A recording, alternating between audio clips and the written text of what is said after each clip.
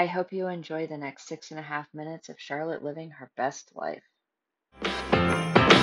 Come on in, come on up, come on over for the merriest time of year.